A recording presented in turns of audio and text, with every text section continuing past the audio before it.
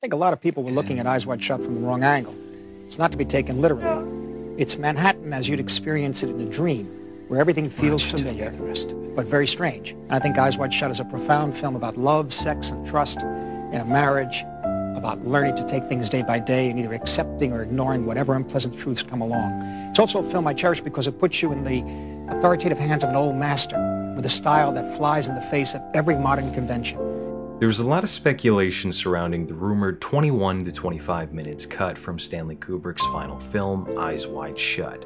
Over the past couple of years, especially as both interest and admiration for the film have increased, there has been an increased bit of scrutiny regarding those deleted scenes and why they were cut from the film.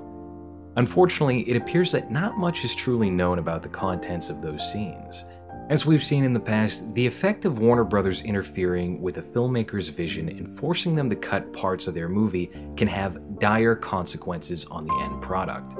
Months before Zack Snyder's Batman vs. Superman was set to hit theaters, the director was told to trim away nearly one sixth of the movie. The result was a substantially weaker film than the director's cut, which hit DVD after the initial theatrical release and received far better reviews.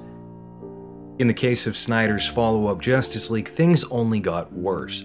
WB appointed another director to take over the project after it had already been shot and composited.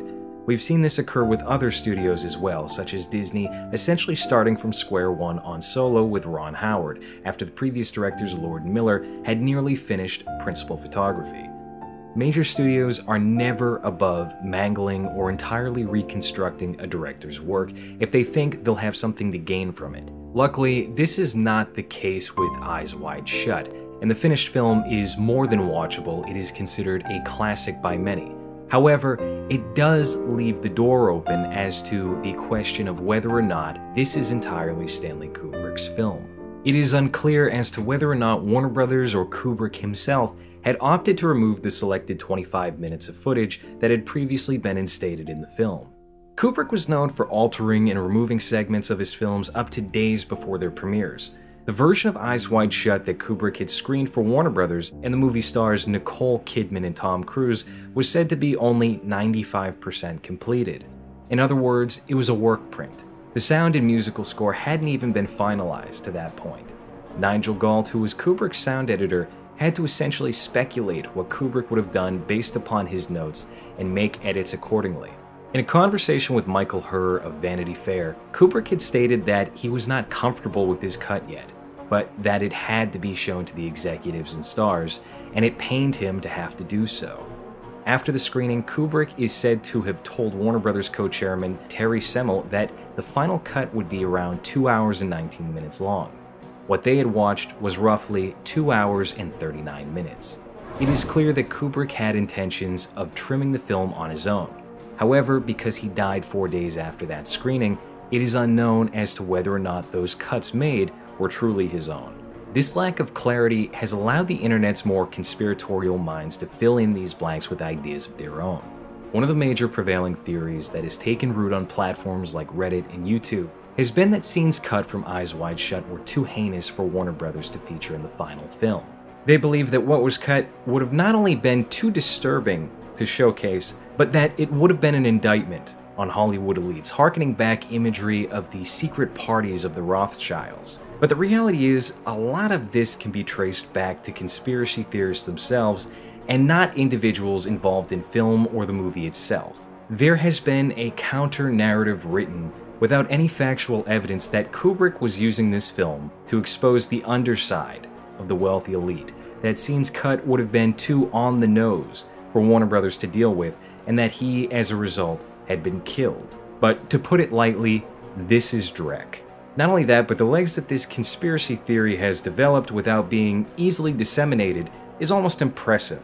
All it takes is realizing that Kubrick and fellow screenwriter Frederic Raphael had to have their script for Eyes Wide Shut approved before they could ever enter production. Warner Brothers could have easily rejected it before beginning principal photography, and nobody would have bat an eye. To add to that, at any point, Warner Brothers could have pulled the plug, but instead they allowed Kubrick to toy with the idea for nearly 30 years. If their goal was to silence the most esteemed director of the 20th century, there were plenty of opportunities to do so legally and without scrutiny. There is also heavy speculation coming from these circles that the missing 25 minutes would have involved child trafficking. However, again, this is all unfounded and most likely the work of those who have bought into fringe conspiracies like Pizzagate. Another theory involves the older man Nicole Kidman's character seen dancing with at the beginning of the film, inducting her character Alice into the cult. Allegedly, the man himself is the leader of the cult who we see interrogating Cruise's character, Dr. Tom Harford. You watch Eyes Wide Shut right now, it's a very strange thing because there's this really absurdly prolonged section at the beginning where Tom Cruise's wife, she is dancing with some kind of really wealthy French guy for like a long time, and he keeps hitting on her and hitting on her and hitting on her. It turns out that the deleted 21 minutes ends up that she becomes part of the ceremonies as well, not just Tom. And that the guy she was dancing with was the leader of the cult. And that's why they spent so much time talking with this guy, and, and, then the guy just disappears. It's like, well, why would you set up that character if it's not going anywhere? But again, there's no evidence of this being the case. I don't want to harp on it too much longer, but there is a lot of misinformation out there that does not make much sense within the context of the film. Those that have been propagating it did not seem to understand the function of cinematic narrative or Kubrick's methodology as a filmmaker. Nothing about Stanley Kubrick or his films has ever proven to be anything short of nuanced. But that hasn't stopped confused individuals and opportunists from muddying the waters and hammering their nonsense into the pot of speculation. In truth, knowledge of the scenes cut from Eyes Wide Shut would be easily accessible if the shooting draft of the film were to ever make its way online. Those copies of the script that are currently available seem to have mild tweaks from the final version of the movie, but do not include the aspects that had been cut. It's interesting to compare the script's more novelesque approach with the final version. In spite of all the conspiracies, there have been some indicators of what we may have seen had the 21 to 25 minutes been left in the film. A photo of Tom Cruise and Nicole Kidman as their characters Tom and Alice Harford, along with their child, in a boat had surfaced online from the Kubrick archive. Unfortunately, nothing is known about the contents of this scene beyond that. From the looks of it, it seems to be an homage of sorts to Kubrick's earlier work, Barry Lyndon.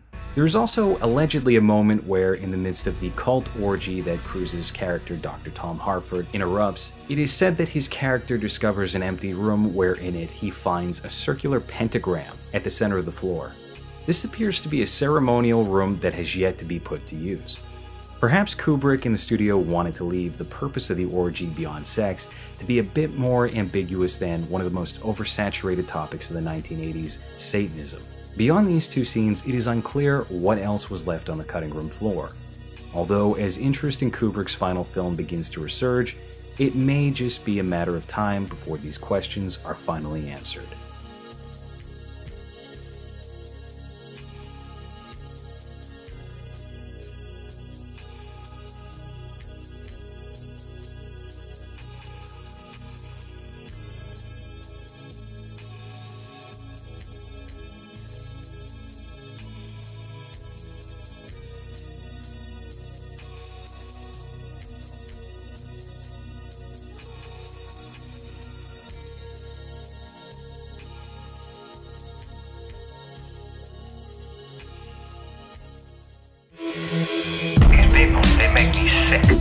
the buffalo, the buffalo. We need to go get some corn.